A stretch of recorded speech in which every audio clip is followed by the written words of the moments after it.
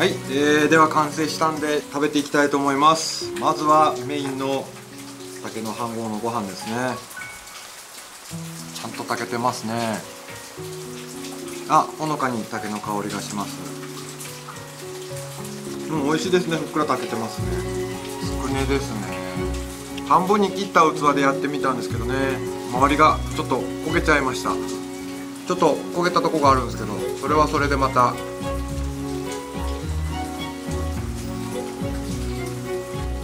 なめことね。えのきがあったんでえのきもちょっと足しました。